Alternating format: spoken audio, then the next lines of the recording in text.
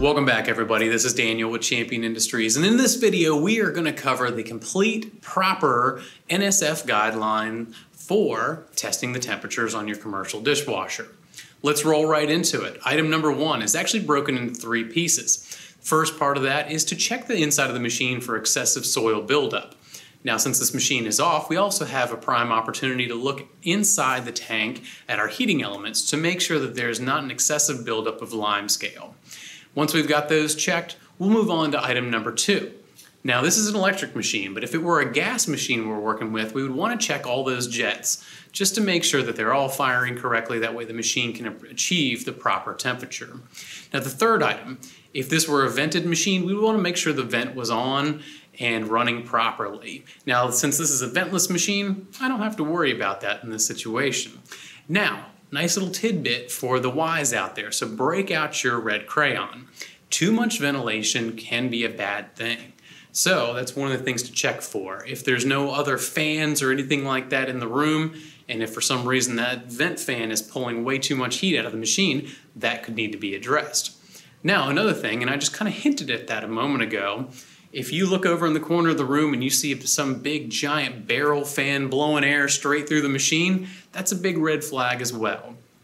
What that's doing is actually pushing the heat out of the machine, and we want to keep as much heat inside the machine as possible. That way it achieves the proper temperatures. Once we've got all those checked, the next thing we need to do, possibly the most important thing, is turn the machine on and let it warm up. So I'm going to do that now. And we'll come right back. So now we waited for our machine to warm up. So the next item on the NSF guidelines is to run a couple of racks through the machine, two to be exact. So what we need to do is fire this machine up, hit start, and we need to put a rack through and run two completely full through the or completely through the machine. And I don't mean one back to back. I mean what one start and go all the way through, take it out, and then let another one go all the way through. Or in the case of a batch style machine like an undercounter or a door style machine, we'd need to let it run its first cycle, open up the door, close the door, or up and down, and then go ahead and start a second cycle of that run completely.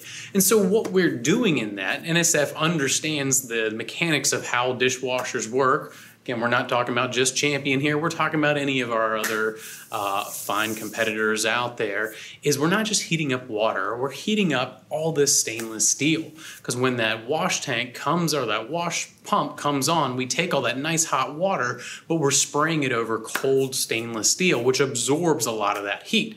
So what they're allowing us to do is to warm up that metal as well. That way the machine can hold temperature. So I'm gonna go ahead and run a couple of racks through this machine and we'll come right back. All right, so item three in our NSF guidelines says that we need to check the temperature in the wash tank as well as if this were a multi-tank machine and it had a power rinse or a auxiliary rinse on the machine, we would need to check that tank as well. And we can do that simply by opening up the doors, taking one of the scrap screens out, and taking our nice little thermometer and just dipping it right down into that water and verifying those temperatures. NSF guidelines say for the checking the final rinse temperature that we could look at that inlet manifold and take that temperature right there.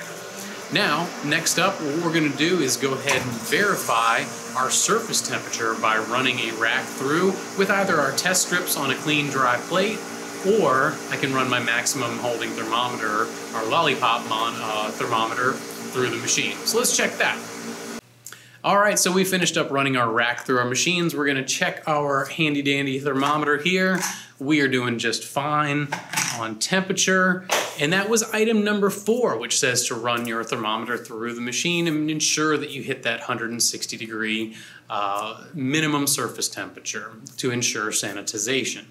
So we've checked all of our temperatures. Item number five goes into a little more detail about how you can uh, have that uh, thermometer go through the machine or either put it somewhere inside the machine, maybe rubber band it.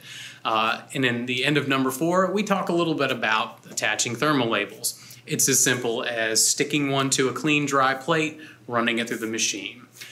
Uh, in item number, and that was item number five. And so item number six just gives us a one to two degree uh, leeway, understanding the nature of thermo thermometers and how they, you know, just a little bit for accuracy. So, with that, I'll put a link to the NSF guidelines down below. And if you have any questions about temperatures, taking temperatures on machines, if your customers have any questions, you can always give us a call or get in touch with us on www.championindustries.com. Thanks for taking the time to learn with us today.